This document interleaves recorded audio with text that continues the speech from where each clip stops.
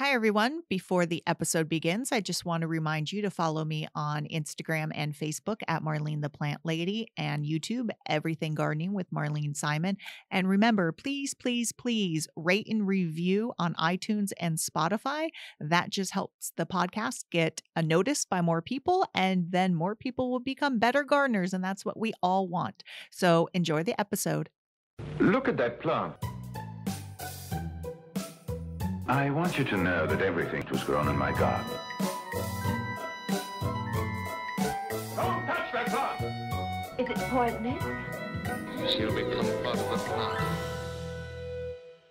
Hi, everyone. Welcome to Flower Power Garden Hour. I'm your host, Marlene, and tonight we are going to talk about something I love to talk about begonias. And people do love their begonias. They're becoming quite the quote, it plant or Instagrammable plant, but people have been collecting them and growing them for a very long time. So I'm glad um, a lot of people are getting on board with them. So I had the opportunity to meet the Begonia Collections curator of the Fort Worth Botanic Garden uh, a couple weeks ago. I could have talked to him lo- much longer, but it, we were having a big event at work.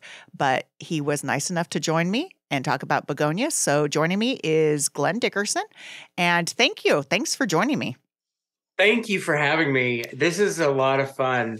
I can talk about begonias for days. Yes. And you know, I I, I was picking your brain because I was like, "Oh my gosh, there's so much going on today." And you were giving a talk in Sacramento and um, you stopped by and you know it's always a little embarrassing having an expert come by and see a certain specific collection you know we're not the conservatory is not known for their begonias and but i do love them we try to be species oriented, but my gosh, it's really hard to turn away a beautiful hybrid begonia. But you just went through and all the ones that we didn't have names, you're like, that's this, that's this, this is this, this is this. And I'm like, oh my gosh, I I need to talk to you longer to get all these names. And then we started talking about growing tips. And I'm like, my gosh, you are a wealth of information. So, you know, I always like to start off hearing about how people got to where they're at. And you're in a pretty sweet spot being the begonia curator of the Fort Worth Botanic Garden. So just tell us a little bit about your background, how you ended up where you're at.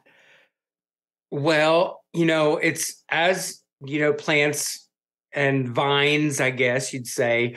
My uh, my my route to the begonia collection was circuitous at best, but I um, I was a uh, right fresh out of college. I went into retail management. Mm-hmm. I had uh, went to school for for uh, basically foreign language, uh, French and Spanish, and I could talk to people. So uh, I did that for around 25 years um, with big box retailers. Okay. So I have a ton of people, public interfacing experience. And then, uh, as most people do, you go through these life changes and then you decide, or I did, I decided that I was like, I'm not really terribly happy with this. I feel very beat up every day when I get home emotionally. And so mm-hmm. I was like, you know, the only thing that was really a constant in my life were plants. My mom had a greenhouse growing up. And so I spent my childhood playing with like bone meal and blood meal and rooting hormone, where most kids are, you know, playing with uh, you know like little army figures and things like that you know outside with their with their cousins or family so so i i had this really i think it i think it's kind of odd now but now i'm glad that i did because it really gave me some very solid footing for what i do now mm-hmm. so, shorten it uh, in 2010 i went back got some i re-educated myself um, went and did a fair amount of horticulture and landscape design work for a number of years. And then this really interesting opportunity at the Fort Worth Botanic Garden became available as the irrigation manager. And I am a certified irrigator or licensed irrigator in Texas. And so I interviewed, got the job, and um, unfortunately, our our existing begonia curator retired uh, two years ago this May. And so it was right up my alley. I have grown begonias for years, um, probably around 15 years. And and so I, you know, I'm a plant person at Mhm. heart, not necessarily an irrigation person at heart. That requires a lot of digging, but Yeah. you know, I, uh, I, I came back full circle back to plants from what I grew up as a child, and, um, and so I interviewed like most there were several quite a few and i had the best greenhouse experience of all the interviewees and i don't want to discount that because we had some tough Mhm. i mean on staff um, that interviewed and they were they were really talented and are talented so i uh i felt like guess what i pinch myself every time i walk into both of these greenhouses and say i won the lottery Yeah, but you earned it. You know, when it's sort of like when people say, "Oh, you're so lucky to have this job," but there's no, there's not a lot of luck. You know, it's hard work, and and, and you know, your your knowledge is is pretty amazing. So yeah, it's lucky that you were, you know, you made those decided to make those changes in life. It's lucky that maybe the person decided to retire when they did, but you know, it's it's it's not winning the lottery. That's pure luck. Okay, well, you know, maybe a little bit, a little bit, but I I do I love all plants. I Mhm. love tropicals. They're my favorite. And begonias just really fall right in line with all of those and and to be quite honest, the first I, I didn't like begonias What? at first. I know it's it's like people I How say, could I tell people that? this story and they they um they're they like what and you're the begonia curator what ha, what WTF Glenn Well, and so uh I I told them it's like my experience as a landscape designer was all mhm. of begonias that you use in landscapes outside especially in Texas since we are located in Texas I, I will. I will say the two uh, two plants that I really well three plants that I really hate because of bad experiences. Pyracantha, just because you know the thorns go through your hands. Um, canna lilies and wax begonias because of snail collecting. And most people Oh, do yes. think of, and, and I think this is probably the same with Texas, is wax begonias is one of your just common bedding plants. And it is the ugliest begonia of all the begonias, but you know, it's pretty Mm-hmm. darn hardy. But if you've ever had to collect buckets of snails underneath wax begonias, you do hate them. So I can't say that. I mean, I don't hate all begonias, but I, I sure do hate wax begonias. Right. Well, and and the wax begonias that people see are just so heavily hybridized. Now, some of the new varieties coming out are really beautiful and interesting, but my experience was, you know, you I had to put tons of these plants in people's yards. They were, you know, they just seemed re- really common and and pedestrian, I guess. And first freeze, they just turned to mush Mm-hmm. Yep. and that was and then you have to go pull them all out and it's disgusting so that was that was my first experience really with begonias. And then i had the chance to tour the begonia collection at the at the fort worth botanic garden and i saw all of the variation and sizes and flowers and i was like what? These are begonias? What? Who where did these come from? And so um the the prior curator debbie um, was such a sweet lady and um, she was so patient with everyone on this tour. And i was like you know what? This would be such a wonderful place to work. I love it. And Mhm. and that's i think that was the seed for me. And i've always loved the fort worth botanic garden. And so i, I ended up coming coming full circle back around. Oh, so I, I was surprised when you said, um, I think the you said it's the Fort Worth Botanic Gardens has the largest collections of begonias in North America. Is that was that correct? That is that is correct. We have um and we are recognized through uh APGA, which is the American Public Garden Association, through their plant collections network. And it was titled, I think, NPCC, which was National Plant Collections Consortium before, but now it's um that was in 2014 was recognized um, then, and so we've only increased the number of plants and the diversity that we have in the collection today. And and what numbers? Like what spe- How many species do you have? Do you know? We fl- we fluctuate. Mhm. Uh, we have in between 1100 and 1600 taxa.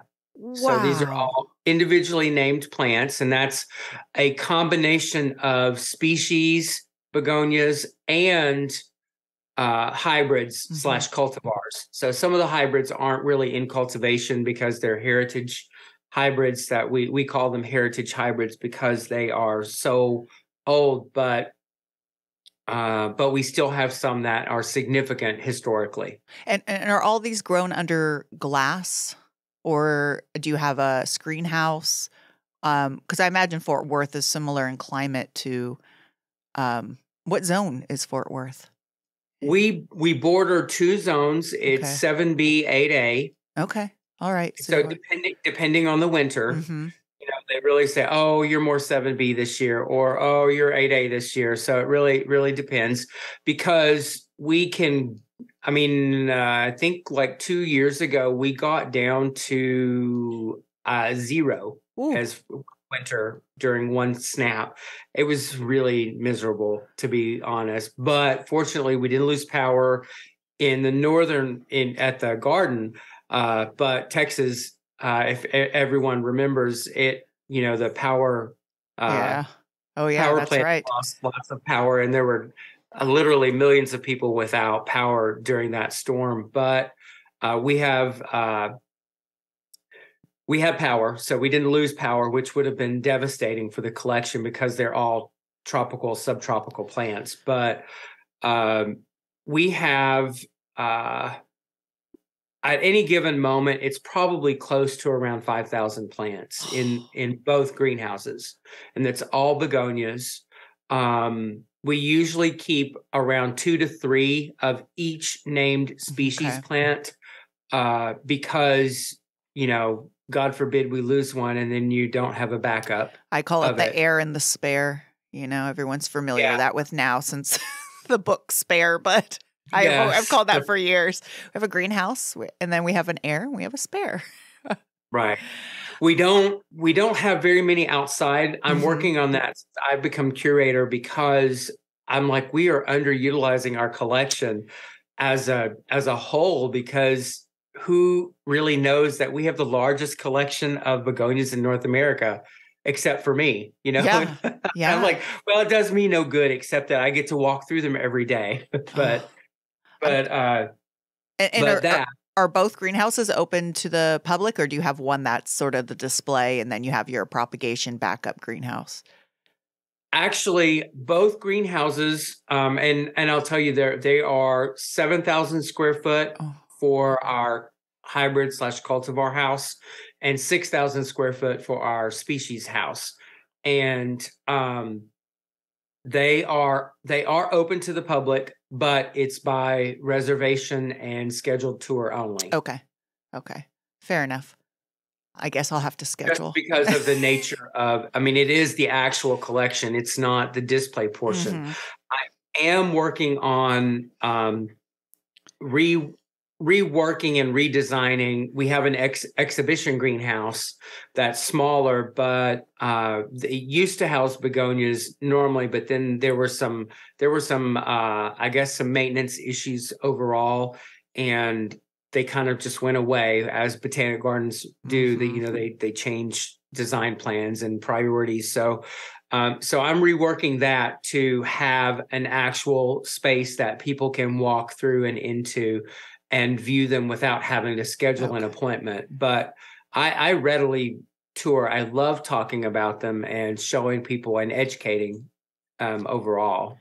Yeah, because I think people uh, they are, you know, you talk about tropical and subtropical, but where they're sort of native to various lo- locales. Can you sort of explain their their their habitat range, their and their native habitats? Yes. So uh, to make it simple, I like to imagine you see the globe and you see the equator, which is right around the middle, and you hug it. with your arms. Well, that's where begonias are because they love the planet. They're hugging the planet. That's what I tell people.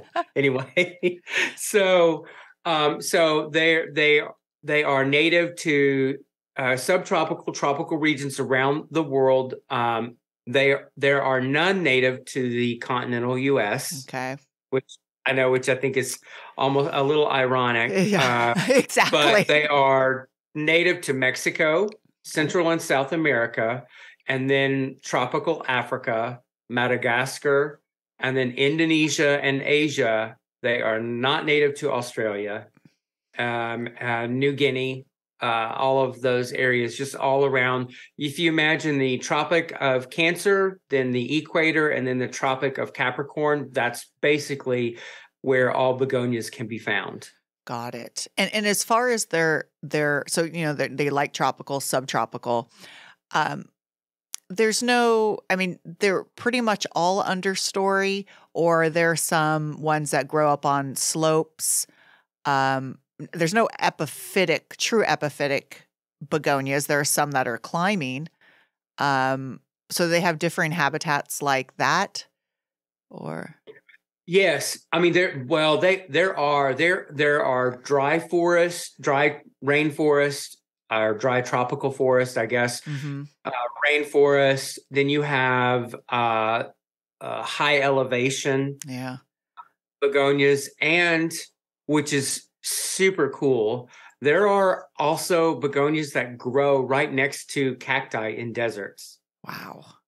wow. I know okay. it's that, that's so cool. Yeah. There was an image on the back of one of the Begonian um, periodicals, and this is a, a publication that the American Begonia Society prints um, uh, every two months throughout the year. And if you're a member, which you can, just go to uh, the ABS website.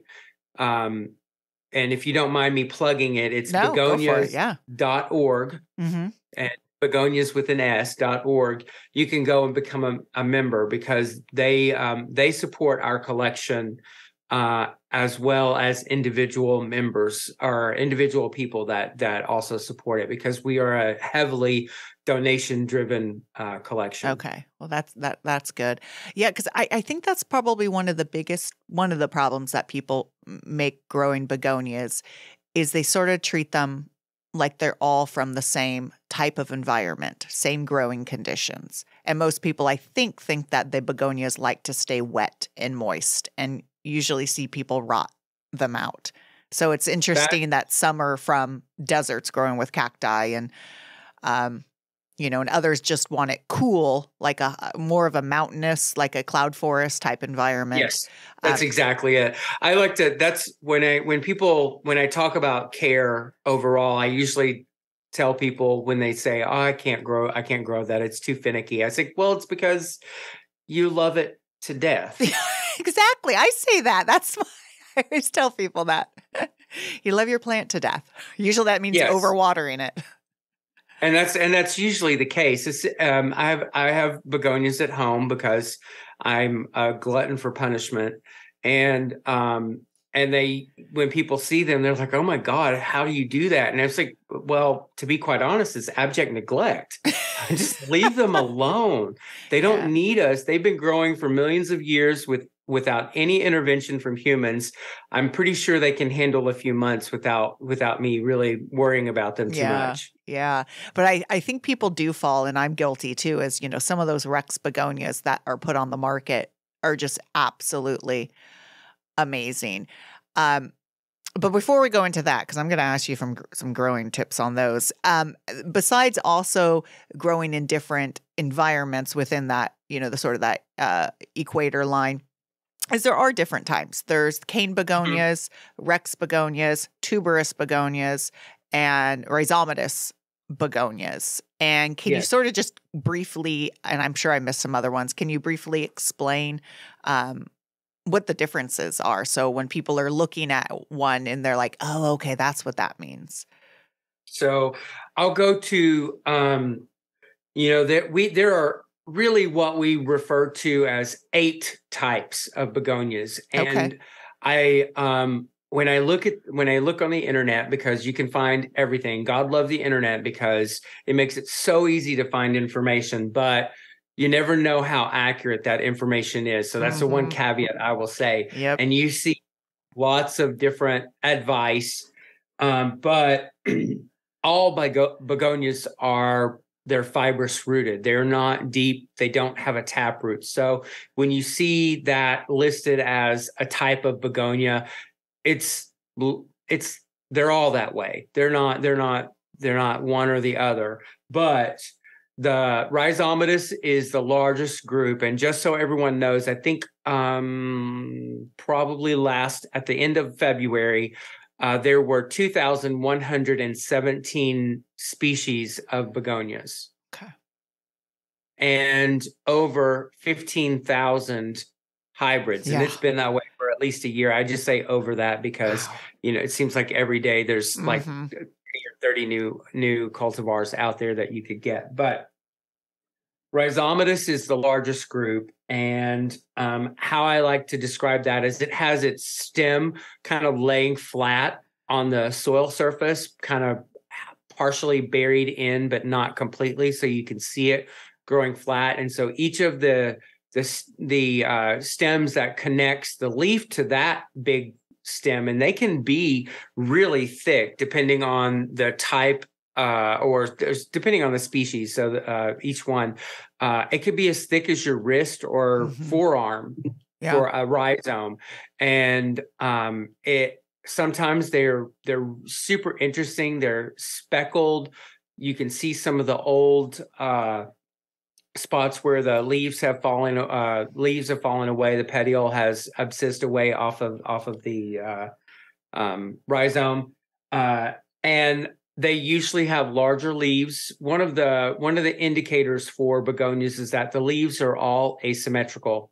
So if you took a uh, leaf and you just divided it in half anywhere along one of the veins of that leaf, it's never going to be equal. Each side is is uh, they're different sizes. Yeah, they're one of the And- easiest families to ID because of their leaves. Yes, So- they are. I mean, the Mhm. leaves are pretty. Um, they're pretty uh, iconic when it comes to looking at that that particular leaf. They're usually a lot of them are shaped like half of a wing, hmm and, that, I think it's the easiest way to describe it. If you took uh, a pair of wings on the back of a bird and you uh, make them lo- look like you'd see an angel, that's pretty much very typically a begonia leaf in some form. Sometimes larger, fatter, squatter, but always that that general overall shape. hmm Um, then you have cane-like, which are going to be like your angel wing begonias, which most people have heard angel wing. Oh, my mom has an angel wing. This is the this is the favorite. They they grow more upright, and their stem looks like a, a cane, almost like bamboo, with the spacing in between the uh, nodes of the the leaves. There, uh, pretty pretty typical. Uh, you have semperflorens, like you talked about, the wax leaf begonias, ever blooming is what that means, or forever blooming, I think.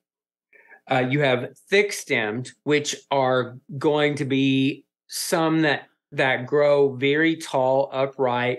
I think typically in the jungles, which is the tropical jungles where they're located, there's a lot of vegetation located around them, and so they they can kind of grow more upright. But the main difference between um, the thick stemmed and say a, a woody tree is that they're they're fleshy, they're herbaceous. They Mhm. don't have the woody fibers that uh, a tree has, and so if it doesn't have the support of the forest around it, it will fall over and either snap or where it makes contact with the ground, it will send out adventitious roots and form. It could form a new plant. These uh, thick stemmed can grow upwards of around 15 feet tall. Oh, oh, wow. Yes, I've seen a picture of uh, one in Asia and the node and internode section. So the internode is the space between each of the nodes. It um, was the size of a man's femur. Holy moly. Wow. What what species was And, that? Not that I probably even uh, recognize it, but It at at the time it was still considered a U, I believe. Okay. Uh, which the Yeah. American Begonia Society, um, when a when a plant is undescribed Mhm. or unknown, it gets assigned a U number, and currently we're up to uh, the seven hundreds Oh, U's, and it's just been going on for decades. yeah. And so eventually that U number will get described botanically and then it will get a name based on either who collected, discovered it, or uh, a person that the botanist who described it went through the the begonia key and went through and found that it was a, a new begonia and then they get to name it. Um, usually, uh, again, uh, for someone they they're honoring, it's usually honorific or Yeah. it's a place name. Yeah, that would be pretty amazing to see.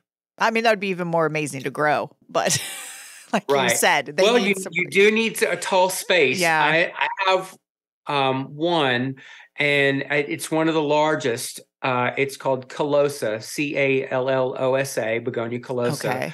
And it has this fluting on the stem, and it's probably I have one that's at least an inch, inch and a half uh, diameter, Wow. and it's around eight or nine feet tall right now and so Oh. and it's in in one of the greenhouses i do have it supported yeah. because it would not be that tall Mhm. otherwise but i do have a few that i've allowed to grow as they would normally even though they're all in like 12 or 14 inch pots so That's so fun. Um, yeah That's fun. and they don't they don't mind being root bound. They Mhm. actually really like being root bound uh, for whatever reason. But but it also means that you have to water them more frequently Yeah. because they dry.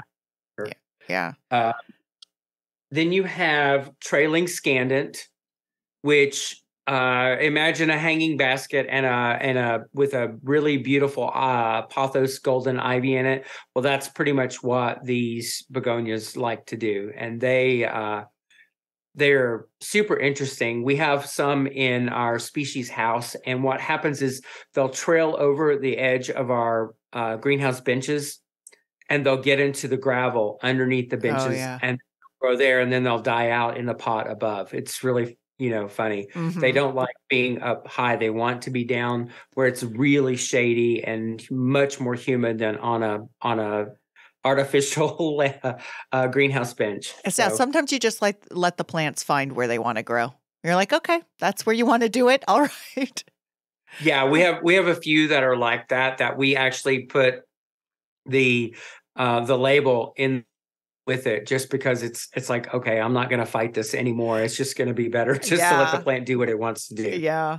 Oh, how interesting. Okay, so then we have those, and then you said eight. And then um I I'll talk about Rex. Mhm. So which is what most people see, but it's called the Rex cultorum because there is only one of this species.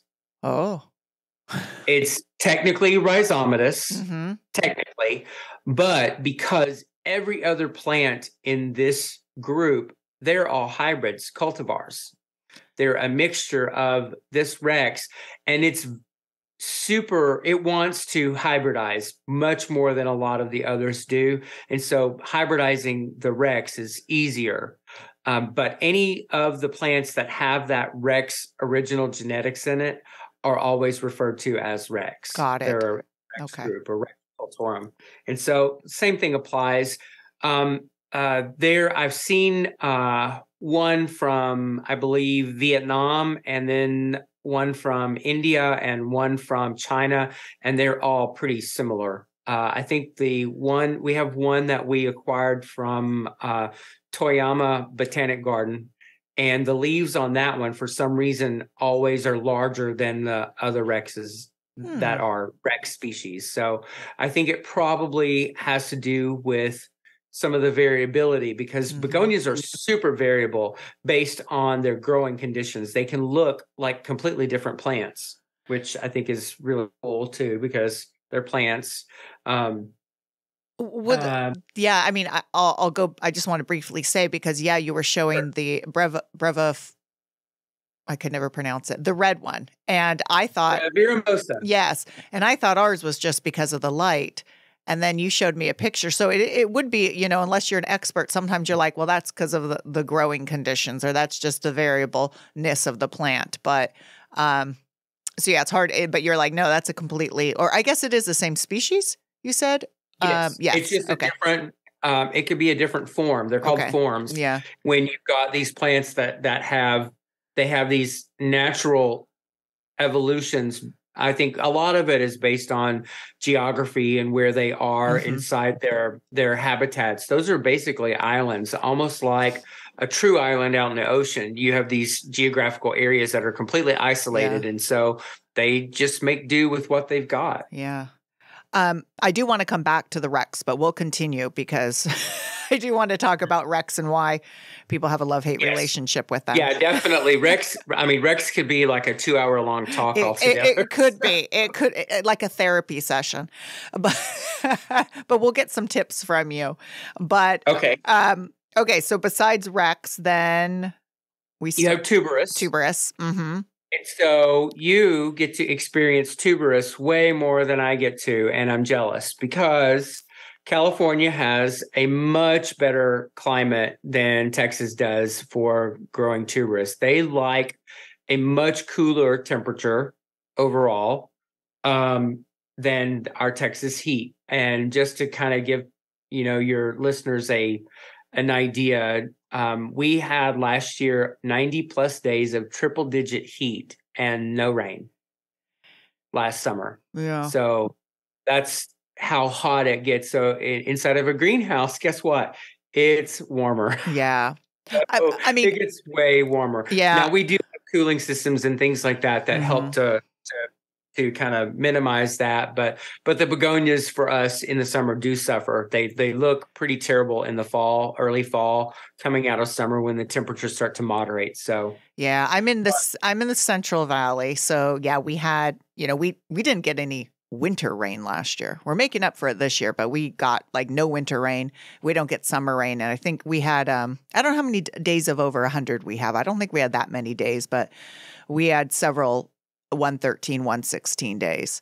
Um, so Central Valley of California is very similar to Texas without the humidity. yes, yeah, but- that would that would be very similar. Yeah, then. but where those tuberous begonias are just magnificent is the Mendocino Botanic Gardens. Um, right Oh, along the coast. I think they're known for that. Anywhere along the coast, you could just grow those. So they, they do struggle. They do struggle inland. Um. But the coastal people, ugh. they could so just grow any baskets of them. any. I'm sorry. Go ahead. No, I was just saying they could just grow baskets of them, and they're just these, you know, clusters of these beautiful flowers. Yes, I I absolutely agree. Um, we have one that is a species uh, uh, tuberous. It's called Boliviensis. Mhm. So you can. Uh, so where's it from? yeah, exactly. Bolivia. Uh huh.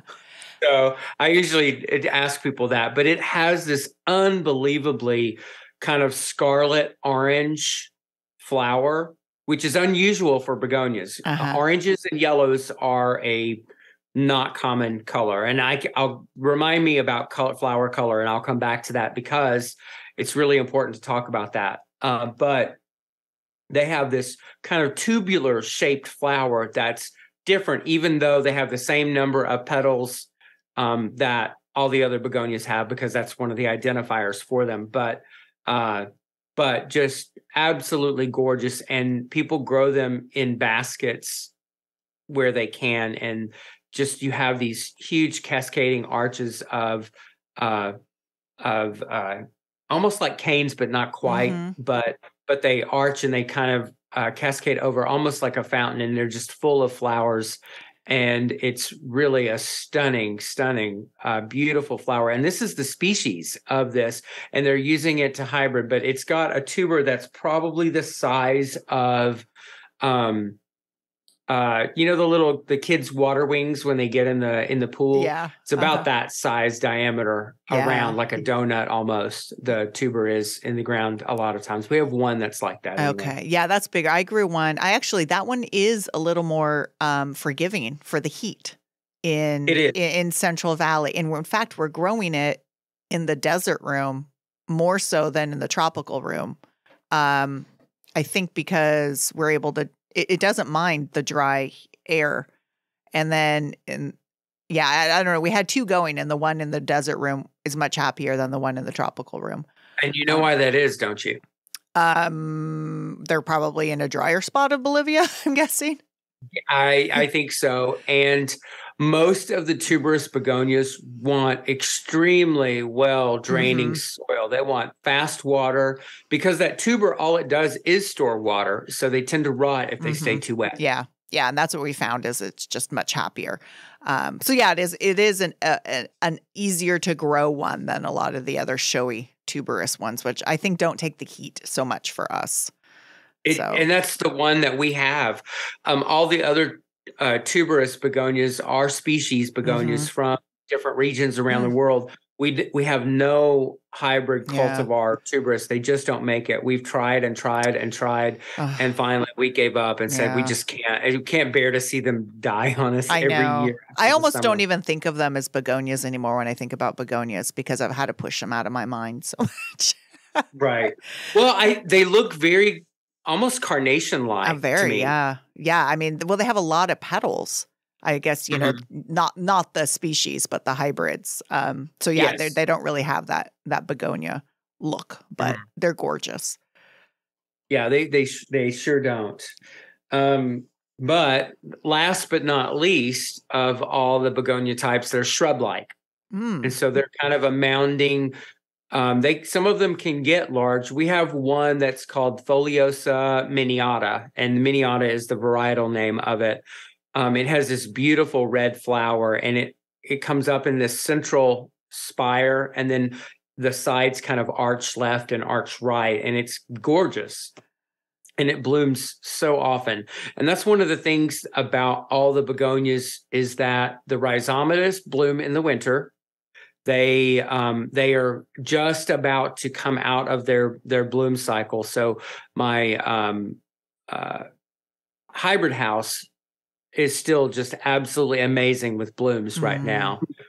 Um, cane begonias bloom intermittently year round. Um, they just bloom whenever they're ready. I, I I I don't know that it's you know based on. I think uh, rhizomatous it's based on night length um, for the most part. You know how what triggers them to bl- Mhm. to bloom. Uh, But cane, I've no idea. I think if they're happy, they're going to bloom. Yeah, I those ones I think do seem people have a lot of them. They tend to be a, a commoner house plant because they are one easier to grow, and they do. I, I- it seems like they just put on a lot of blooms all the time. and then um and then all of the rest like the the trailing scandent it, they just don't bloom very often but when they do it's usually small small blooms rex and i think rexes get a bad rap just so you know okay. i mean they get they get a bad reputation Uh-huh. that oh they don't have pretty flowers Oh, okay. guess what? The Rex flowers are so cool. They are big. The female flowers are just huge. And people are like, well, they they only want the leaves because the leaves are so striking. And I'm like, yeah, but there's those flowers, those are something. Those are huge. They're gorgeous. Well, let's talk about growing Rex begonias. Let's just lead Okay. into it because uh, those are the ones that you see primarily at the stores. I mean, there's a lot, but the ones that you see, like, you know, at the grocery store or in the front of the nursery, Right. because they have such the wow factor. They have amazing foliage. But a lot of people, I mean, including myself, kill them. Mhm. Um, You love them to death. no, because I'm a horrible at watering. I'm like, no, not watering you. Nope, not watering. So maybe it's my neglect actually that, you know, I yeah, I neglect them to death. But what are some what are some tips? So let's go on to what Okay. soil would you grow Rex begonia in? What size pot? And Mhm. where would you place it? So a lot of these are going to be what um, they're going to be situational. I think is the best best way to describe it. Okay. As with most, and I'll talk about the size of the pot 1st Mhm. and then we'll go into Okay. the soil. Um, size of the pot is always uh, in direct uh, correlation to the size of the plant. Okay. So if it's a if it's a tiny little plant, you would you know no bigger than uh say uh a few inches across for that whole plant all of the all the leaves you would never put it in like a 10 inch pot Mhm.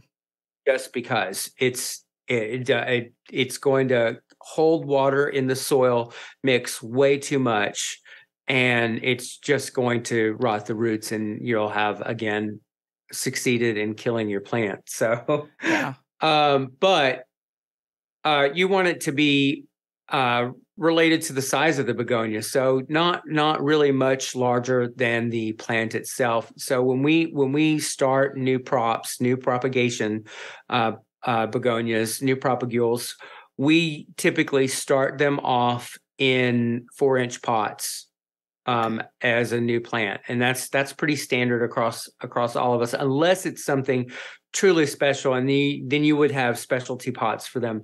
But i um we have two separate soil mixes that we use in the greenhouse. And and i want to to to absolutely um qualify why we do that but it's always related to the environmental conditions you have in your house Mhm. where you're growing Okay. is going to truly determine the type of soil media that you use. We use a, a we call it a bark mix, which is peat moss, uh, perlite, and uh, a, a pine bark, which has a mycorrhizal fungal inoculation to help them metabolize uh, nu- nutrients in that in that soil. And we do fertilize, and I'll talk about that as well. But uh, that is a pretty well draining mix initially, but over time, you have to go back and you have to change it because as that material decomposes, it compacts. And that's where people see the problems occur.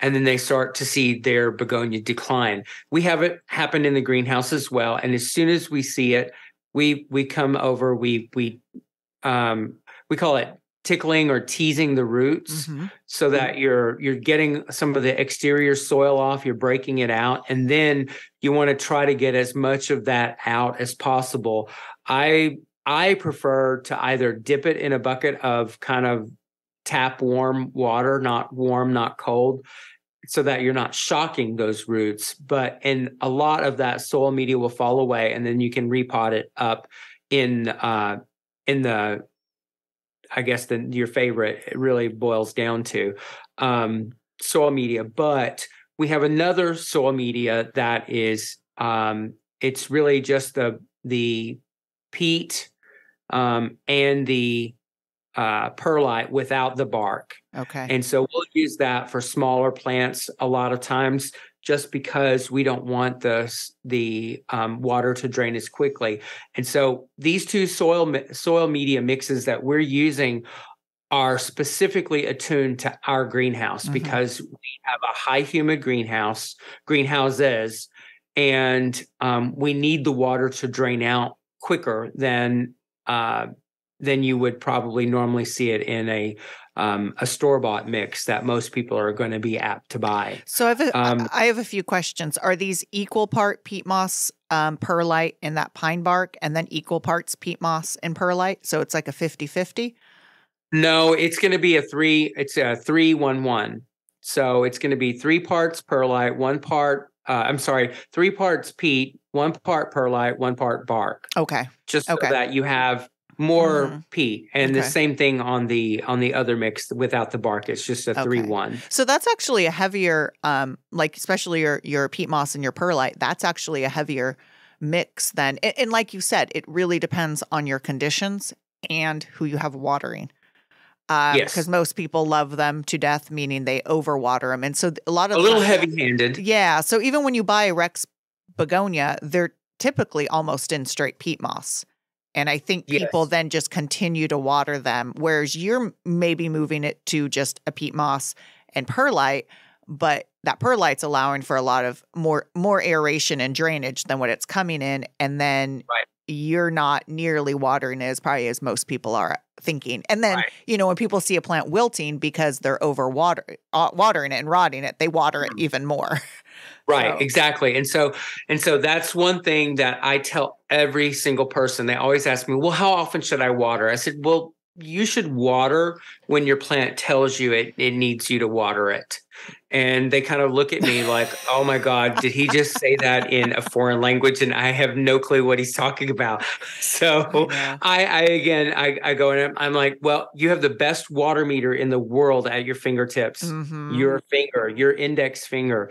Put your finger in that pot down to the first or second knuckle. And if you pull it out like a toothpick in a cake and it's covered in moist, damp soil, guess what? Wait a day. Come back and check it again. yeah. Check it again, not come back and water it again, come back and check it again. And you check it until you get to this dry top portion of the soil. And you don't want the soil to separate from the interior of the pot and create this Mhm. little puck inside of inside of your pot but you also don't want it to stay what I call sopping wet. I think that's that I don't know if that's a Texas term or not. I but- say that. I'm glad you say it because I say that all the time, sopping wet. And I write it and I'm like, do people know what I'm talking about? But yeah, sopping wet. I get it. It totally makes sense. Yes, I mean you don't you never want that because a lot of people don't under, understand soil mechanics Mhm. and the mechanics are there are all these different particles that are all these different sizes. And so there's space in between those particles. Well that space is filled with air because roots breathe. And i mm-hmm. think that's really important whenever you whenever i tell people that roots breathe they look at me again like i'm like i have three heads and i'm an alien and and say huh? And i'm like yes roots need air almost more than they need water and they're and sometimes it's that that light bulb epiphanal moment when i i may have just i just had a moment where i think i it's like the angel gets its wings bell yeah. so it's that ding. And so i uh i go yeah they they need to breathe. And so when you water in that soil media you are pushing out all of that air so the more often you water the less air that you have in your soil.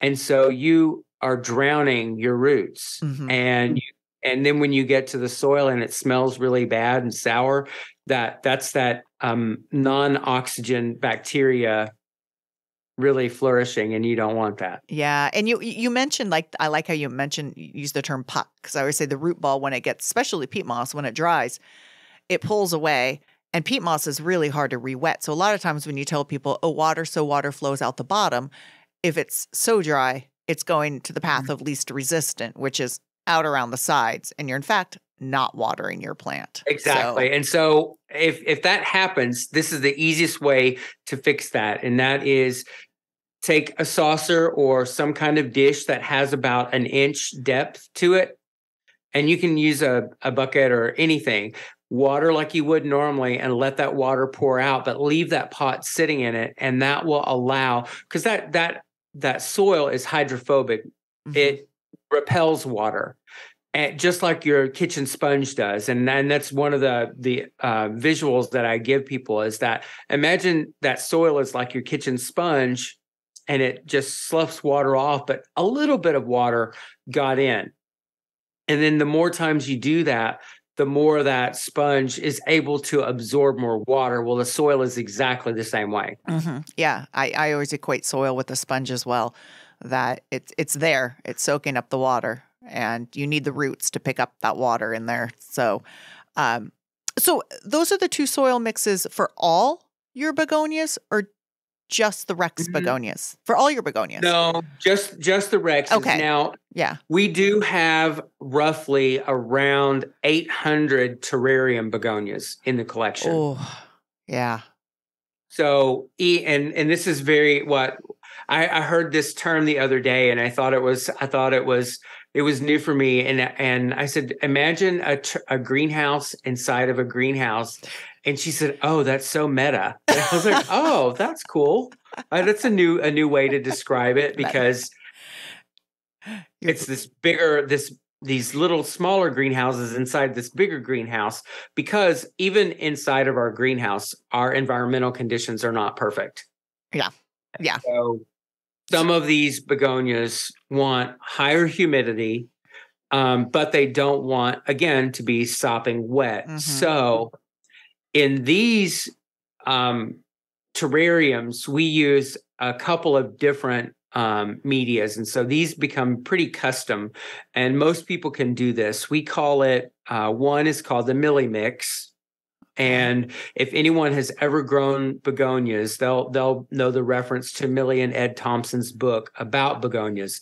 It- we call it the bible because it was it was written in the i believe the 70s don't quote me on that i don't remember the copyright but millie thompson and her husband they were commercial plumbers but yet they grew begonias expertly and um, and so they decided to write a book because there was so little literature on it and so this soil media that she developed over time was three parts long fiber sphagnum Okay. and one part perlite. And so what we do um, at the collection is we used to boil it. We would boil Oh. the sphagnum, pull it out, let it let it drain and and dry out. But we found that we were getting a, a fair amount of bacterial growth inside of it over the long term. Mm. And so now we we simply rinse it under really hot water and then we'll take that those long fibers and then squeeze the water and cut cut them into smaller pieces with a pair of like large shears or um like your shop scissors things like that. And that kind of breaks it down a little further and then we'll mix in the perlite with it and we'll keep that. You can put it in a bin anywhere and there are some that really like this because they need that extra that extra space in between all of those mm, uh, particles but long fiber sphagnum holds moisture really well and so the, it has access to that water as well So rinsing it in hot water is that getting rid of the small particular matters, like trying to slough off anything so you don't have more dense, or is it to clean it? both Both. Okay. I think it does both. It it really cleans it. If there's any if there are any pathogens that are left from Mhm. the from the uh, manufacturing process, that it helps to eliminate the vast majority of those. Okay. And the size per perlite, because I mean, we have various, I mean, most people could get their hands on just the standard size, but there's pretty small per perlite and there's big per perlite. It's a standard. It's just a standard Okay. perlite. You know, Okay. she, I think you know back back when she was writing this book, they didn't have access to all these really individual perlites that Yeah. are available now. Yeah. You, I, I'm taking notes like crazy. And normally, a lot of times when I'm talking to people, I'm not taking notes, but I'm picking your brain for my growth. So that's why I'm asking all these detailed questions because I'm like, wait a minute. um, but it has to be it has to be pretty easy pretty straightforward and we've Mhm. found that you know the vast majority of the begonias in the terrariums they they they're pretty adaptable when it comes to their soil conditions as long as their environmental conditions are pretty pretty Okay. good and I think when you visited, you said that you you have these individual specimens, and it's not like just in this big terrarium. You have them enclosed each. And what is it that you you told me that you use? So, you know, we have these extremely technical and very specific restaurant salad containers that one is the lids are inverted one on the other with clips. And so I didn't come up with this. The collection did it over time because they were always and have always been strapped for cash to maintain this collection.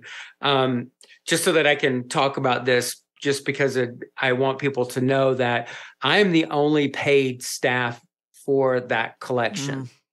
Um, all of the rest of the help, and it requires an army.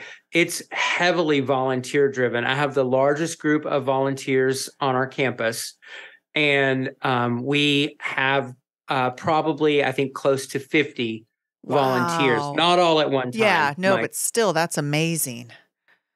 and so it requires a, a really dedicated group of volunteers to do that.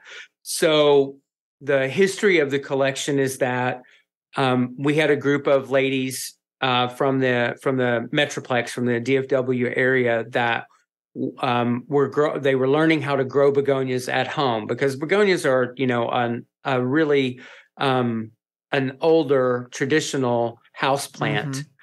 Um, a lot of people have heard of the beefsteak begonia, which is technically called uh, begonia erythrophylla, and that's the oldest hybrid begonia, hybridized in 1845. So um, they've been around for a minute, Yeah. and and so uh, they. Uh, I, I almost lose my train of thought now because I started. I, I, wanted to say who hybridized it, but uh, Oh. but it's okay. It's not a big deal. I I was going to say you, you, you, I'm, I'm, I'm sure you can make up a name and no one would know. No, just kidding. Right. Oh, his name is Javon Varcevics. I, I Oh, know wow, that. there you That's go. that's easy. you know. You know, I think he's either Dutch or German. Don't Okay. hold me Yeah, on, on who and and where he he's from, but he hybridized that first begonia. So, um, but um, So you had these. I know that we were talking about the soil mixes and the oh the history of the collection. Yeah, I'm sorry. yeah. That's what it was. So um so these these ladies were coming um to the garden because they had heard that we had some begonias and they wanted to see it. Well, we had a few in one of our um that we call it the uh the Quonset hut now because it's a Quonset style greenhouse. And um, this was in the very late 60s, early 70s. And uh, when they walked through, I think back then they had much better access to our admin, uh, administrative Mhm. leadership. And so they were actually talking to the director of the garden at the time and said, Hey, you know, we would love it if you had a begonia collection here at the Fort Worth Botanic Garden. And he said, Well, you know what? We would too. But if you want it here, you have to help us. and so that was how it started. And so these ladies started, it grew from, I think, roughly around 10 begonias to where we are today with over 5,000 begonias. That's crazy. And well, I mean, it just goes to show you the power of volunteers. I mean, uh, Yes. most most garden clubs, most um, botanic gardens, even if they have a lot of money, still have amazing volunteers. I mean, just people do want to volunteer for plants, but um, it could be hard wrangling all the volunteers, though. Say, It is. Um, I on volunteer days, I'm extremely busy. I get Mhm. I get no uh, other work done, Mhm. and I and I love it because I'm getting. I'm still getting. I'm not getting my work done, but I'm getting work for the collection done. Exactly. And so many people want to come and volunteer at the conservatory. And um, usually we have them, you know, students go through our internship program, but I hate turning away other people. And I'm like, I need to start doing something where I train them. But you can't just people have people come volunteer because even if they know what they're doing, it's just what how you do it and your you know your setup and where everything's at, and it can take a lot of time. It Um, does. I, I typically on the on those days I spend my entire day Yeah. either with the volunteers mhm. um, because if I have any new volunteers come in on those on on that particular day, I tour them through the Yes. collection just like I would the public because I want them to understand Mhm. the importance of what we're doing. Yep. And and I also recognize that when a uh, a volunteer that's new comes to the begonia collection, they they may or may it may or may not be a right fit the Mhm. collection or the volunteer and so I still devote the same amount of energy and effort because I might have that diamond that Yeah. I I really need because I'm I'm never going to turn away someone because um, I think a lot of our current group of volunteers are I would say on the more mature end of the scale and and there's a ton of skill and knowledge that I would absolutely just I would cry if it gets lost Yeah. Without having a new group in constantly to help learn and and facilitate that transition of skill and knowledge. hmm No, I mean they are. I mean when you when you get volunteers and you get them going, I mean they're they make a a, a big difference. So, um, Yeah. I need to get our volunteer groups going again. Um, but let's getting back to the um, the high humidity. I'm glad you brought those up because those seem to be very popular. Mhm. Um, because terrariums are popular, and so you're growing them in the salad containers and in that sphagnum mix for the most part. I mean, you said you had a lot of Yes. specialty mixes, so but that's just a good one. Um, and you keep them covered, and you don't put any water in the base. It's just you water the pot. Um, Mhm. So they're just extra high humidity. And people may know like the Amphioxus. Um, did I pronounce that right? That's one of them, the polka dot one.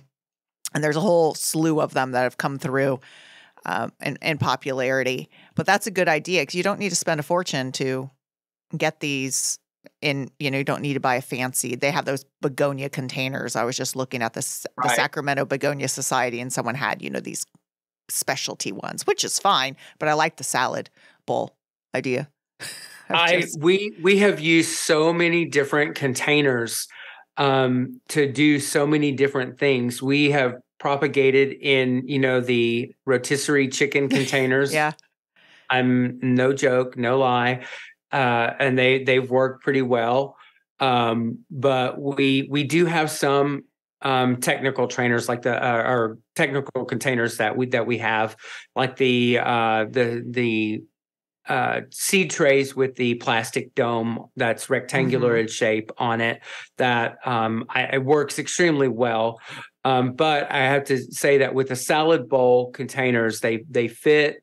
They've got this bowl shape, so there's a lot of space inside. But we also do use extremely technical hair clips. you know, the little butterfly Yes. and uh, dragonfly shaped clips. We have graduated to orchid clips, oh, but okay. Yeah. everything works. Yeah. I mean, anything and everything. We don't we don't throw any of those items away. They age out of the system. So when one breaks and it's not good anymore, or the spring on it's gone, that's that's when we That's throw it away. That's it. Um, I do want to before we talk about your fertilizers, and I, su- I sort of want to go back and talk about a little bit about pot sizes for especially the Rex begonias. But what soil mixture do you use for your cane begonias? Just because that's a lot of people have the cane begonias, and I know um, some of them still overwater them. I, I they tend to Mm. be more forgiving in their soils. Is am I just? I mean, that's my I, experience. I think it's, I think it's fair. Um, I think that you, well, we use the exact same mixes for the the cane, just depending Okay. on what their humidity requirements are. Like um, Amphioxus, that's that's a cane or a shrub. You know, they kind of they waffle between the two. They okay. uh, wh- about how to describe it because begonia taxonomy is like a moving target. You know, Yeah. you never know which which name it's going to have, which group it's going to be a part of. Um, as far as um, just a one further kind of uh, rabbit hole that you could go down is that um, within the eight types there are, I believe, sixty five or sixty eight. Please don't quote me. Uh, sections of begonias. Oh my gosh. So Oh, within each of these groups, and these sections are typically based on morphology. yeah. Yeah. So um, you can have in uh, uh, books based about one section of begonias, and that's been done where they they just go in and and uh, and do that. Uh, we've Okay. had some researchers and doctors over the years that that have done that. Okay. Um, but but when it comes to potting media, it's pretty similar. I Okay. think as long as you do not do this one thing, do Okay. not use any of the ones that say moisture control Mm, yeah. Okay. because they add a crystal to that potting media that holds water in longer. hmm And begonias absolutely do not like that. They like to dry out between watering. They don't want wet feet. Okay. That's good because a lot of people think, well, you know, I overwater my plants, so I'll get this, so I won't water it as much. But that's still Mhm. holding moisture. so they're And just so I, I think another easy thing to do at home, a lot of people, you know, if you can grow an orchid or an Mhm. African violet, you can grow a begonia. They have very similar um, environmental needs. So, uh, The I, amount. I use a, a pea gravel tray underneath some if I don't have the right humidity Okay. that I can that I can augment. okay, I was about to ask you because some do like you know we just talked about the high humidity ones and we just mentioned how people could sort of circumvent that um, do you not recommend getting a humidifier for begonias and how do people know if their begonias are not getting enough humidity Well, they have this thing called the the brown edges around the Mhm. leaf around the leaf margin, and that's usually a sign that the begonia is drying out too quickly around the edges. And that's that's one of my first guesses. Also, the little the little um, it's called a stipule, but on the stem of the begonia, and it protects the leaf before or while it's emerging. It's this little flap of tissue, and eventually it dries up and falls away. Well, on a lot of begonias, if the humidity is higher where it likes it, it will hold on to that stipule for a long period of time. Oh so that's a good tip. So if the stipules are browning and falling off would you say at the same time as the leaf or bef- uh, uh, or shortly after the leaf falls off? That's Oh, um, I think the the the stipules um, typically will fall off well before a leaf does on their own normally. okay. But in higher humidity, you can you can make the plant hold on to those longer, and that's a that's a good indicator that you've got a healthier humidity for the begonia. As is if it's browning around the edges, then that stipule will also brown and quickly fall off. okay I- It I- won't hold on to it. It Okay. just can't. That's a good tip because I'm trying to think of. I have the Sophie Cecile begonia, which is one of the easiest begonias to grow. So I, I'm picturing it because it has the long canes, and I, I I think its stipules are all on there, even though the leaves fell off. So, but it's such an easy one, so that's why I was like, it's it's. Mhm. But I I like that tip. So you use the gravel under, so you're not putting the pot necessarily in water. You're not even getting a humidifier, but you have that moist gravel in the pot, sort of just sitting Right. on the gravel. Okay. Because as that water evaporates Mhm. it creates a micro humid climate around that begonia that that you're not going to experience in the rest of your house most people's houses range in humidity between 30 and 40 percent and that's just really too low for Yeah. almost all begonias Yeah. they then, like they like they like 50 percent or higher okay. and I, I think 65 is like a sweet spot okay. I did get a humidifier for my begonias and then I quickly got powdery mildew. So so it was sort of a eh, okay, humidifier you get turned off. Apparently yeah it's happy enough I without it. um I did I did get powdery mildew at home and it Yeah. is the bane of my existence. I think it's the bane of everybody's existence with begonias because it's so hard to clear the air of those spores that just float around. Do you use sulfur or what is your At- go to? At the greenhouses, yes, I do. Um, I like to take them outside and leave them out for a few days, spray them down. Um, you can use like a, a 50 uh, percent peroxide and water spray, Oh, okay. and that will wash that will wash the spores off.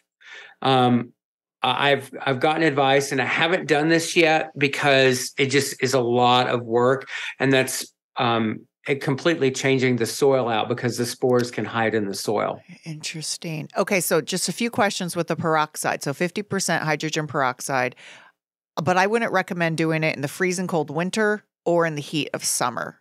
That would be pretty Right. shocking, right? To move them outside. Okay, just letting people know. So, um, so other than I, that, I have moved some out in the 45 degree range. okay, And and it, but it depends on the begonia. So I'll say depends on the begonia because yeah. there are some that would absolutely not take that, and then others, if they're already acclimated to the weather, they would. Uh-huh. So um, I have it, these are these are cane begonias. So Yeah. canes are usually a lot hardier than some of the others. Yeah. Yeah. Uh, besides powdery mildew, I mean, they can get a little bit of mealybug, but they really don't get a lot of pests. I mean, spider mites aren't really a problem. Thrips aren't really a problem in the greenhouse. So it tends to be just that dang powdery mildew and more environmental conditions, and then maybe some mealybugs. Mhm. But I think that some of the biggest things, and and while they're not really uh what I'd call a pest, they're a nuisance, and that's fungus gnats. Oh yeah. Mm-hmm. You get the little black the little black flies Yeah. that if you have a begonia close to your desk, it always finds your face. you know, it's just like it's a magnet. Yeah. and that's annoying but um and that's a, that's a cultural fix Mhm. you know if you uh, you fertilize less often Okay. and you let the begonia dry out more between waterings that will fix uh, the wet environment that those fungus gnats like and want in order to uh, proliferate Yeah. People always have a problem with fungal gnats, and I always tell them, you know, just back off the watering for, for first, and then you could get, you know, a little yellow sticky trap to get the adults to try to stop. But it is more of a cultural um, uh, practice type thing because they like that wet environment. Um, to I want to go back to pot size too, because I think and, and, and pot type, because I think begonias of all plants, a lot of you know, you hear this plastic, no, not plastic, terracotta, no, not terracotta, more so with begonias than any other plants, I feel. And then you get to the shallow, well, not shallow. And, uh, you know, I'm sure you're going to explain why we hear all these sort of differing opinions. Um, I'm sure there's always a little grain of truth behind why that started, but right um, break it down for what you guys use and what you'd recommend. so i'm gonna i'm gonna explain what i do at home first Okay. okay. because I think this is going to be completely relatable for Mhm. most of your listeners. And that is, I use plastic pots and I put them in a cachepot. So they are in a plastic pot inside of another pot. So again, meta, because it's a pot in a pot Okay. but but it's easy to pull that pot out of your cachepot and change out the plant if you ever want to because i have display cases so that people can see them that Mhm. come into my home because i'm not allowed to have racks of plants at the public to see which is what i would normally do and it looked like a greenhouse inside the house again so Is that what we I, call a compromise? I very possibly could. You know, I, I for the longest time it was a one plant in, one plant out rule. oh, So wow. one begonia in, one begonia out, and I was like, ah, I can't do that. That's hard. yeah. That's like that's like selling your children. More more so. I mean, just kidding. I don't I don't have kids, so, So, so I, uh, so I I do that a Okay. lot Okay. in those cases because two things: I can control the water very easily. If it's too wet, I can pull it out, dump what little water is just underneath that pot, Mhm. which also acts to help as a humidifier. yeah. Uh-huh. And and then um, because most of your cachepots are they never the liner we call them liner pots in in the trade, but these liner pots, these grower pots that I use that are plastic, they are never the right size to fit perfectly Yeah, into exactly. a into a cachepot. They're Yeah. always missized. Mhm. So I find the the closest one that will work, and that way it's also decorative. It's aesthetically pleasing, and you can uh, you can enjoy it more than seeing this this ugly um, green or black or orange plastic pot sitting in a really nice display case. Yeah. I like the fact that it does add humidity because you are sort of in creating a little enclosure for it Mhm. almost. That's not to say there aren't challenges. I've had a Mhm. few that did not like that system, and so guess what? They got changed out. It's much easier to change the plant than it is to change me. So. Yeah, there you go. but um so uh terracotta i i do like terracotta because terracotta breathes hmm much easier than your plastic pots but it's very hard to um when it's time to take the plant out of the terracotta pot because you can't kind of push the bottom of the terracotta pot unless it has a decent sized hole that your finger will fit into and you can get in and, and make the roots release from the interior Yeah. of the pot. Granted, you're probably not going to have to do that for at least a couple of years. So uh, just depending on if the plant's happy or not. Uh-huh. Yeah, we we result in just breaking the terracotta pot. Just break it. Yeah. you Yeah, get your it is. anger out, It's- and then sometimes you're just like, I can't get this pot off. Just Right. rubber mallet time.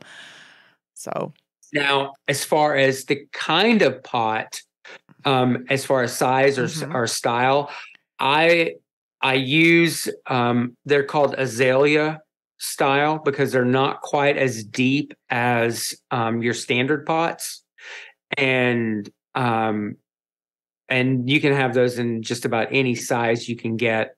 Um, I also use pots that are called bulb pans okay. because they're Mhm. very shallow and and wider because you have to remember the roots on most begonias are fibrous meaning they're shallow and wide not not long and deep Got it. And so what happens in most of your deep pots is you have this soil that's not getting used and so moisture tends to linger there because the roots are not growing down into it readily and so it can create another conduit for rot i think Yeah, no, I agree that. Yeah, a lot of times when people are taking uh, begonias out, they're like, "Wow, uh, was that me? The roots are so shallow." But no, that's just sort of the way they they grow for the most part. So definitely like the rhizomatous and the Rex begonias. I think, am I wrong that maybe you could push it a little bit with the canes? I don't know. Yeah, yeah, you you can, and we do. We have we use some standard pots, Mhm. especially on the the the more shrub or shrub and thick stem type, because they they tend to grow taller, and so they actually need that weighted heft that a larger, deeper pot can provide to keep them from falling over. Yeah, because some of them can fall over. yes, and it's very sad. We had Yeah, yeah, it really yeah, is. Yeah, I I, think I do move specimen ones that are larger, but I I I have learned that I can't move any that are that are actually four feet or taller. You just have to leave them Leave as them, is. You have to move smaller ones because Mhm. as soon as you move them, the the, the canes on them just snap Yeah. and you hear this pop and it sounds like bones breaking oh and it just makes you cringe. And I I'm like, oh, I'm so sad. yeah, There yeah. was another one. so yeah. Um, hit that. Um, I do want to talk about fertilizer. I know we're throwing Mhm. a lot in here. I do want to talk about it because when you came and visited, um, you you threw out a lot of interesting facts and things that you you uh, you mentioned the what they the pH they like, and I was shocked by it. And then you even mentioned Super Thrive, and I was like, "Whoa, I'm intrigued." Mhm. so, um, explain what you do, what you would do at home, what people could do at home, and then what your routine is at at the um, botanic garden. So at home, um, I like to use a slow release fertilizer because it just makes my life easier. Okay.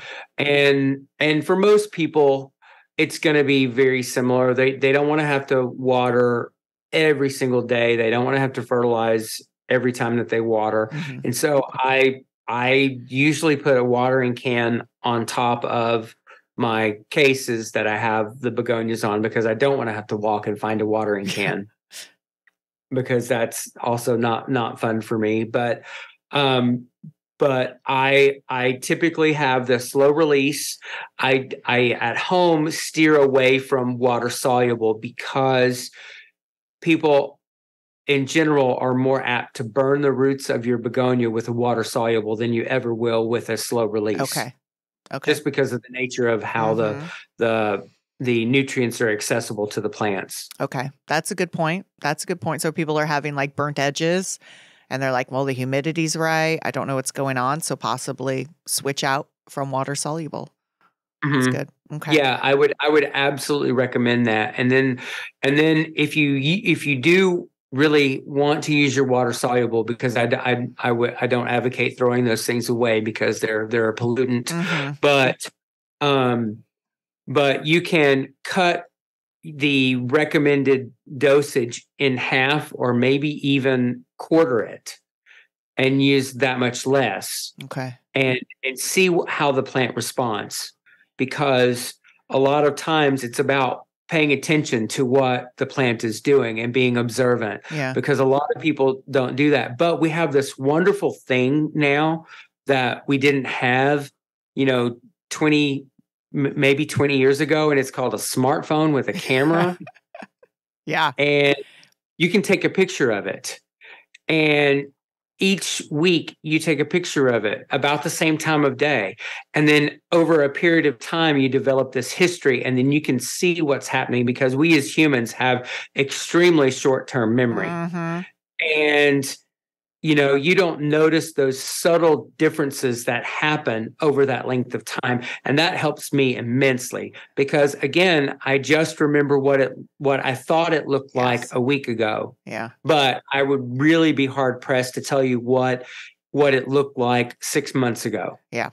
Yeah. No, that's good record keeping because we do. Our, our, our we're going to remember it's almost like what we choose to remember or um but yeah, just having those those those details. Oh yeah, it it, it did look worse and now it looks better or mm, no difference or anything like that. The phone is my best garden record keeper for me and I don't even realize it half the time until I go look at pictures and I'm like, "Oh, this time last year these were blooming or this is what this was going on." So, um as someone who's a horrible record keeper.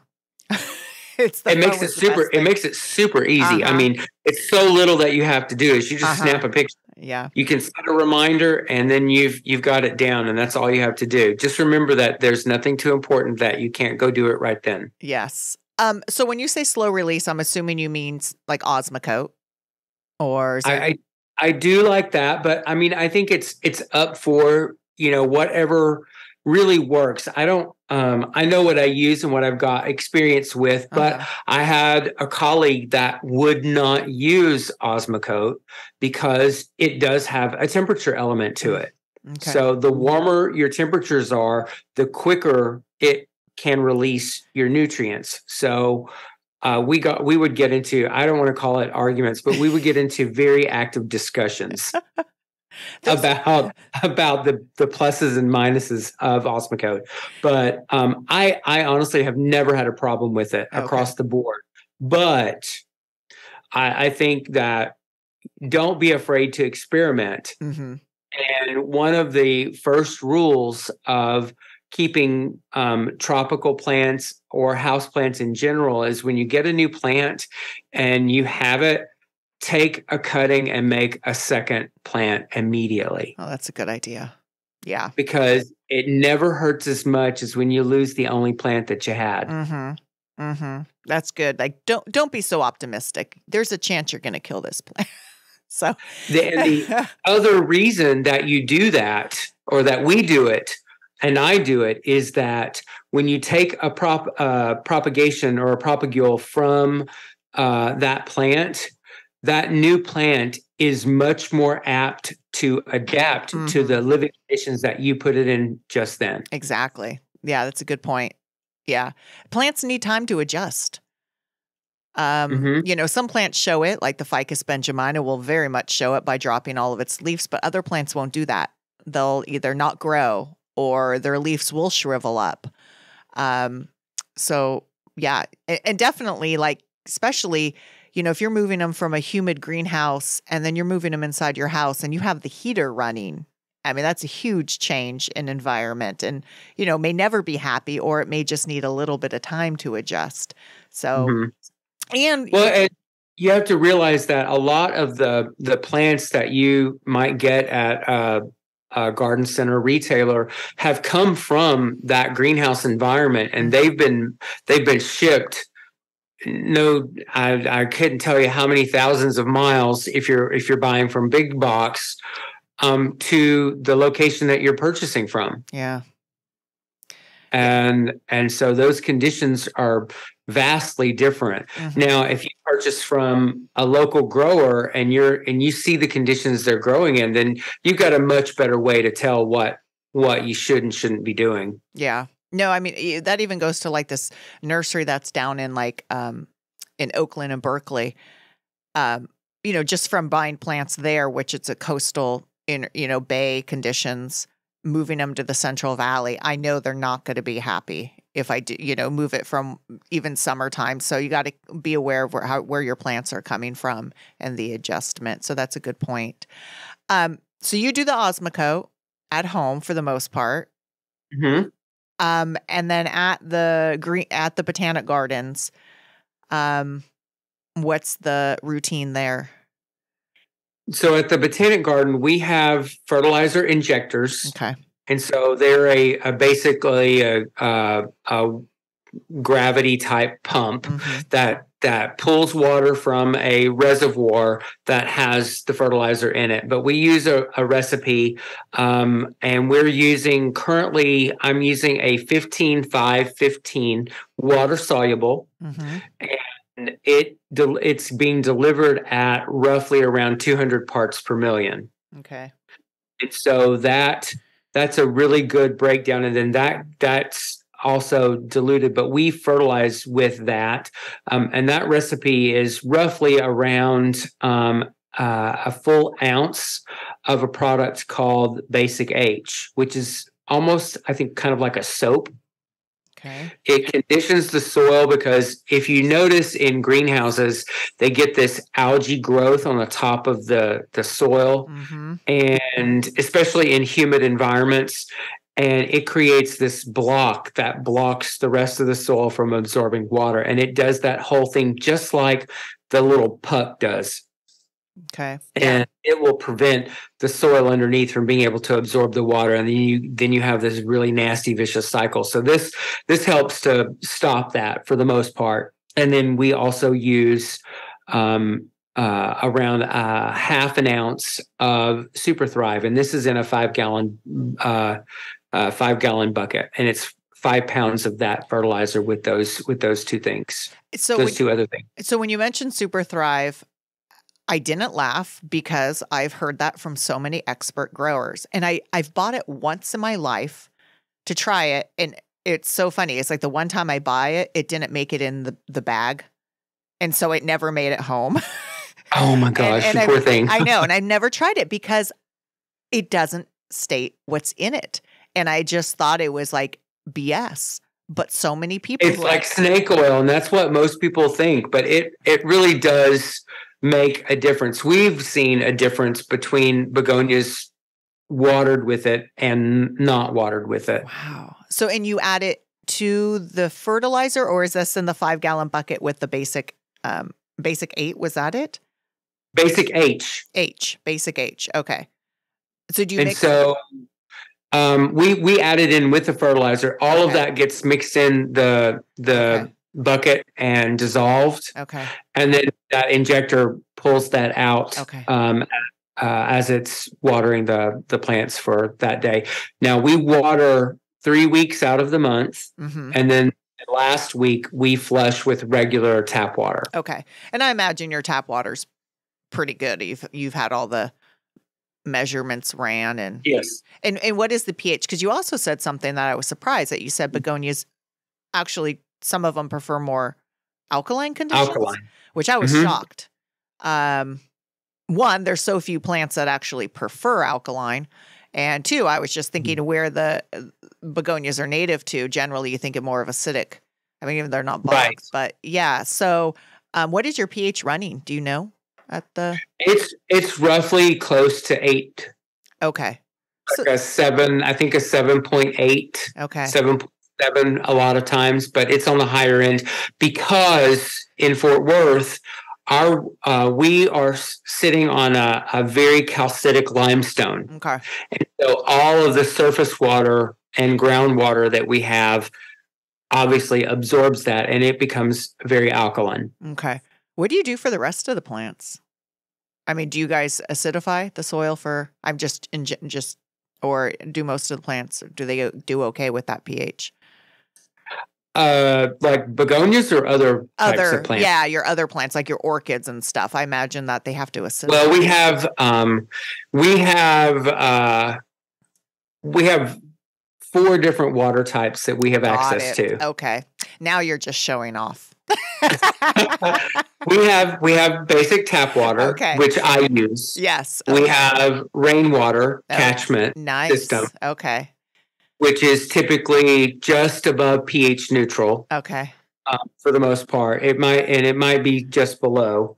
Um, we also have raw water, which is completely untreated water, and this is part of part of the beauty of us being a botanic garden and the fact that we are also the oldest botanic garden in Texas. Mm.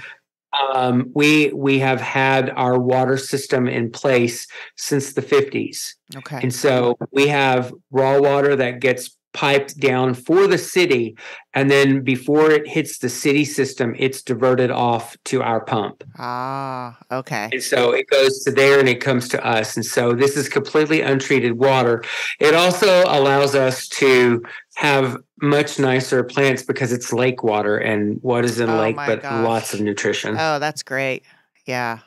It also doesn't smell very good most of the Well, yeah. it's a trade off. It does smell like lake water. It smells pretty fishy a lot of times when you, especially if you come first thing in the mornings, because we we do watering in the garden overnight, and so usually overnights, which we don't recommend for the general public. It's just that we have to since we're a public facing um, organization, and so we have to make sure that our guests get the best experience when they are here. Yeah.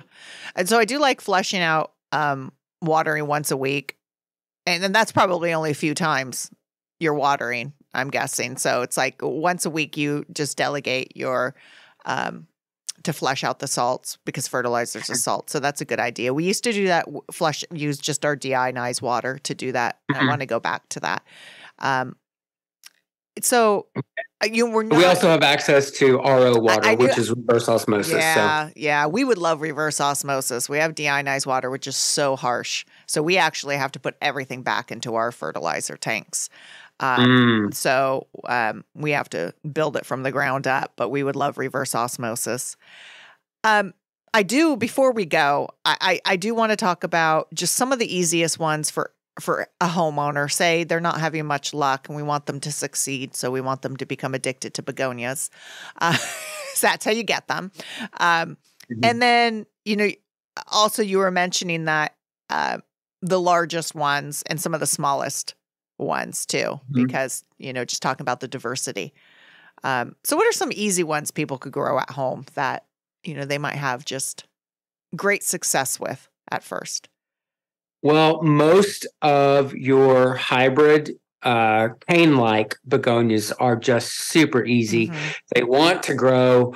Um, they're going to look usually green, angel shaped we uh, leaves with either white speckles on them. You've got some newer uh, ones. I think uh, ice capped is one. Mm. Uh, you've got uh, I know. uh, avalanche, Avalanche. is another. Oh, yeah. That one's so easy. Yeah, I mean they're just super Oh. super easy. They they just grow super Uh-huh. nice. And then um, I have I have one. It's not easy, but it is susceptible to powdery mildew. But it's my favorite, and I have to say it. It's called um, bat wings. Oh, okay. So it's It's an- it's, it's an, an angel wing bat hybrid. wings. okay. But it's it's got the the leaf the leaves on it do they're kind of a dark. They have a green tint, but they're dark with a little bit of a pink tint to the spots.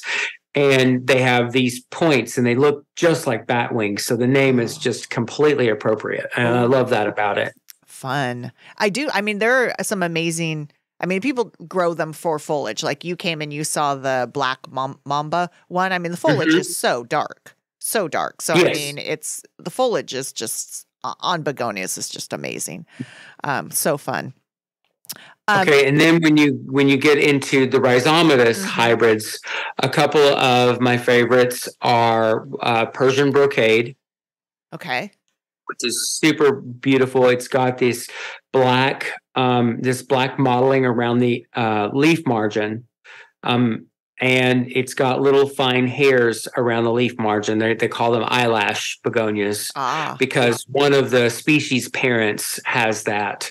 Um, it was uh, I don't know if it, how far back in the in the hybridization, but it's it's a begonia called Bower A or Bower E B A uh, B O W E R A E Okay. is the name. Okay. And there are a few different forms of that, but the but the larger one, it's they're super pretty.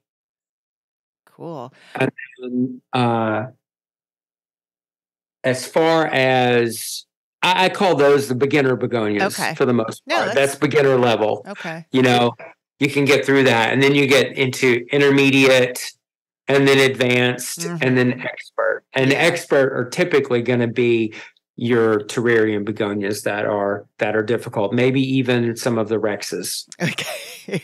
Even though just because. Yes. Where are where are some sources people could get? I mean, you know, you have people traveling all over. I mean, you didn't you say you had people who were traveling different countries and you know they they trade and you know, but where do Yeah, we have well, we have contacts with uh, a fair amount of collectors that that Yeah. do that and have over the years.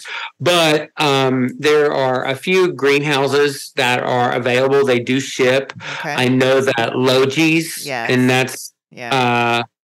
uh, uh, also uh, I believe Taylor greenhouses, and then you have Kartuz, and then there are a couple. In if you get a copy of or you look at uh, begonias.org or Mhm. begonias, yeah, begonias.org, you can look at some of the resources there as well online.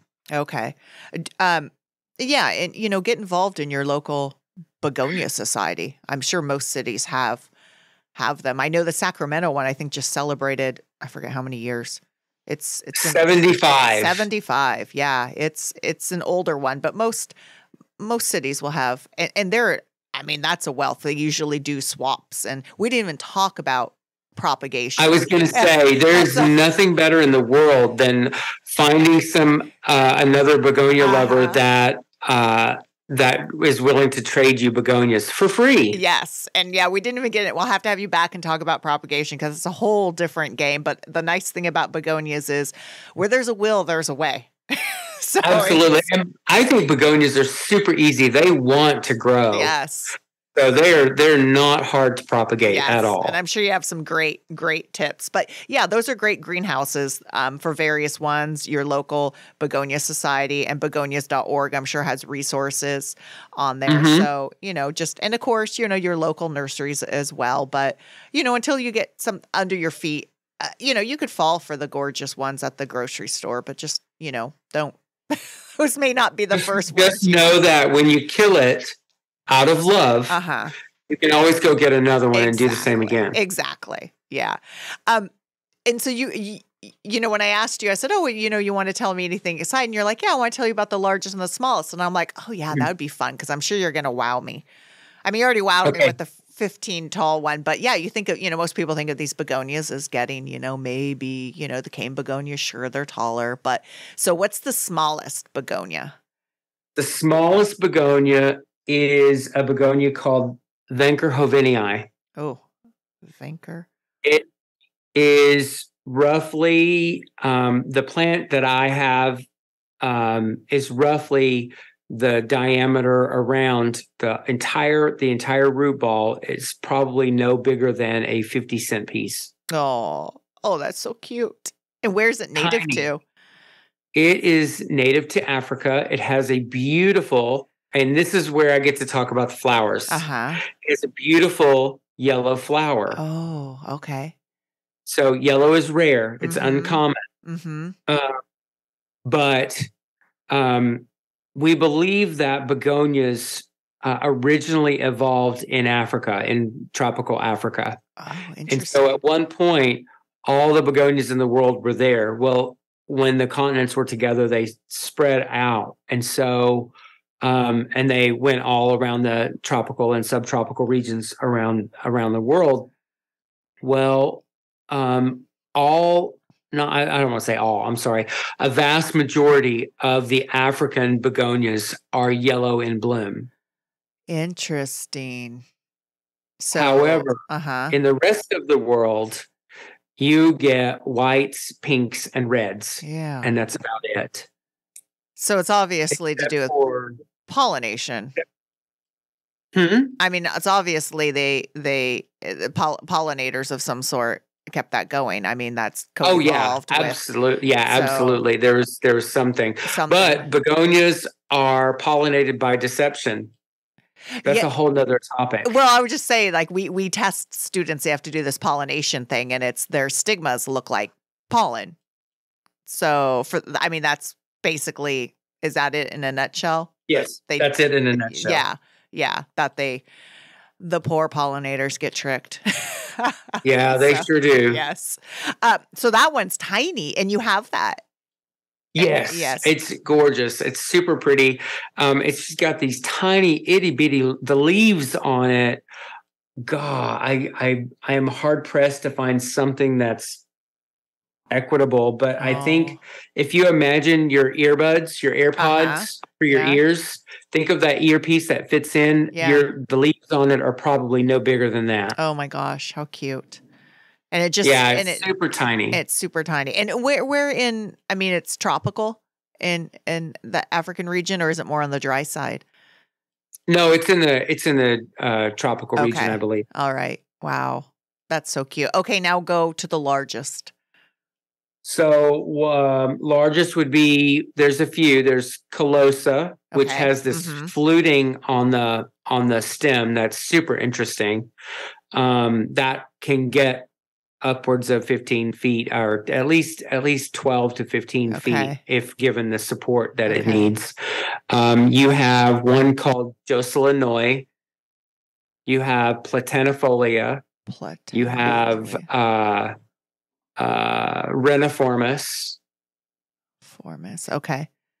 So all of these are all tall shrub-like, or excuse me, thick stem begonias. Mhm. Sorry, Okay. and and they all develop these thick, really thick stems, but super interesting and tall. And they get these just giant inflorescences that Oh. that are just beautiful to look at. Tiny little flowers, but so many of them that it's it's really a wow. Mm. And and are these more? I picture those being more almost like in a cloud forest, or Um, I think that the most of your um your thick stemmed are going to be lower down Yeah. in the in the Dry. forest itself, not Yeah, up high. that's there are a few that are. yeah, There's one called uh parvifolia, I believe. That is it's a, a high altitude uh uh I believe in the Andes. Mm, So that would be South America, Peru, yeah. reach Peruvian cloud forest, and that one's taller. I Okay. saw one in Atlanta at the Atlanta Botanical Garden that had that was I think probably around eight feet tall. And how quickly would they grow to that size? I mean, are they slow growing, or would that reach that height? No, most of your begonias are pretty pretty quick. Mhm. They grow pretty quickly, and and they're heavy feeders. They like Yeah. they're like vegetables. You know, Yeah. they they want a lot of food because they um in a lot of the indigenous cultures where we find these um they're a food or a medicinal product Uh, Yeah, I have people sample the um the flower buds on them for the o- oxalic acid. Correct. yes That yeah. nice tang. Um, I didn't know it was a food source.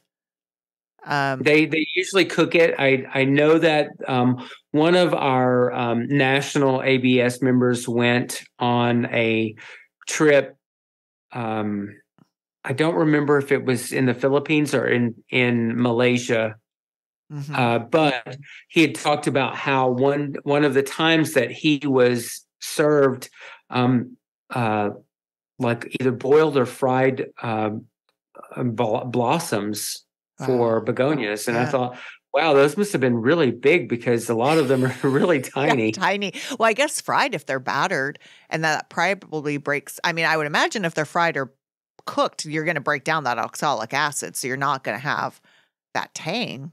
I don't know. Right. So it's more of like just a, a green vegetable that's your fried. I'm guessing. Mhm. Yeah. How interesting. Yeah. But um, yeah, I always have people sample them, you know, because they're used to the the the weedy oxalis like that. Um, well, this has been exciting. I mean, we could. I mean, I know I could pick your brain forever about begonias. Like I said, we didn't even talk about propagation. We didn't even. I mean, there's so many so many places you could go with begonias. Yeah, Um, I, I, I, I just have to say that I pinch myself every day, and I don't want to lose that that little kid excitement Uh-huh. I get when I walk into the greenhouse and I see something different that I didn't see the day before, and I'm and I how did, and I think how did I miss that? Yeah. Well, I mean that's that's the great thing is well, especially with that many species. I mean, that's that's how I feel about going into the conservatory. When people are like, "Well, when's a good time to visit?" I'm like, "Every day." you know, Every there's day, there's yeah. something new and uh, different, and um, yeah, and you always see new things, and it's also the challenge, you know, of of of trying to grow these plants in cultivation. It is a challenge. Um, It, yeah, it definitely is. One of the things that that was that was told to me when we did, uh, I, call it an industry tour, when we had another Botanic Gardens um, staff come visit us, mhm. and they saw the collection for the first time because most of your plant collections are not a single plant genus in its own house. Yes. It's always a mixture Exactly. of all of these different plants, usually geographically or regionally Mhm. based on environmental conditions. And then you've got they're all together to make it easier to grow them. Yeah. Well, the begonias are housed in their own houses. There are no other plants in there. It's only begonias. That's amazing. But these begonias are from all around the world and that's the challenge is you have to you have to find a happy medium or i have to find a happy medium all the time it's a it's again a moving target Yeah. No, I mean, because eh, within that greenhouse, there's microclimates. There's, you know, it's it's every every yard, every house, and every greenhouse has its own microclimate. So you you know you know the dry spots, you know the lower humidity, you know the cooler spots. So and those change throughout the year too. So, but yeah I mean, they sure do um, you know that's what makes it fun. Is you know you're you're I, I you're always learning, even though you're an expert, you're always learning, and and you know people are discovering hopefully new begonias and hybridizing. My gosh, there's so many, so many out there. it's, it's mind-boggling you, you can't keep up with them it's just crazy No. So where can people you mentioned begonias.org. Um, Fort Worth Botanic Gardens, I know, has their Instagram. Um, so throughout some um places people could see maybe some pictures of Fort Worth collection. Um, So, if anybody wants to watch a video, we Mhm. have had um, uh, a probably well known YouTuber. Her name is Summer Rayne Oakes, mhm. and it's R A Y N E O A K E S. Um, she has um, come to the collection twice now, uh, five years apart Okay. and she has got several uh i think several episodes that's dedicated to just begonias Nice. and i think that's a great visual way to see what we do especially the newer the the one that she came in and, and toured this year Okay. Nice. they you can also look us up on facebook we have a local branch the dfw Mae Blanton m-a E B L A N T O N branch of the American Begonia Society. We we do post there as well, and and also on the that the branch's Instagram. Okay. And I'll put all these show notes down, um, the links in the show notes and stuff. So, um, but yeah, so that's some good, good reference points to see because, you know, well, I want to see some of these pictures of these begonias. so, And um, then another another really I think it's a an excellent resource Mhm. is the International Begonia Database. Oh, okay. Just Google it, and Okay. it's not a terribly sophisticated website. Okay. It's managed by uh, the database is managed by a uh, hybridizer. His name is Ross Bolwell, and he hybridized a begonia that's one of our favorites called Challenger. It is one of the largest hybrid uh, rhizomatous begonias out there. Oh. It's just ginormous. Okay. I'm going to have to look that up. Okay. So If you, I'm, I'm not. I'm not a tall guy. I am five foot 6 Mhm. So you can imagine my my I'll call it my wingspan, even though it's more it's not a wingspan. I'm not I'm not a big basketball player, but um it is wider across the entire plant than I can reach. no. Oh my gosh. Yeah. So it's not not the single leaf, but the Uh-huh, whole yeah. grouping of the and the rhizomes are just huge. Oh they are my gosh. enormous. Do you guys have that in the collection? We do. Oh, We keep it in the collection and it is an out of place. We typically have all of our collection organized alphabetically Uh huh. um, by type of begonia. And this begonia has a particular spot. And since it's so charismatic, we leave it there. We don't move Uh, it. Yeah, don't mess with it. It's happy there. yeah, Yeah. yeah. When your Yeah. plant when your plant finds a sweet spot, you're like, oh, do I move it? No. Uh oh. Yeah. Uh, Yeah. Well, those are great resources, and this has been a lot of fun. I've learned a lot. Um, you know, and uh, I'm sure everyone else has learned a lot. And people do love begonias. And the nice thing about begonias is it's definitely bridging the gap between old gardeners and young gardeners, and you know they're pretty hip and cool. And and even if it's a gateway plant to get people into growing other plants, but I think once people start growing begonias, they're always going to grow begonias. I think it's, I, I do I do tell people that in the garden itself, all of our hybrids are our gateway drug Yes. to conservation. Yeah. Because that's how you introduce people to Mhm. what's really most important to us. Yeah. And as someone who is way into flowers, you know, begonias have beautiful flowers. They're but they're known for their foliage more. So to me, it's like it's the best of, you know, both worlds. So um thanks for joining me and everyone else. Hopefully you learned from this. And until next time, happy gardening.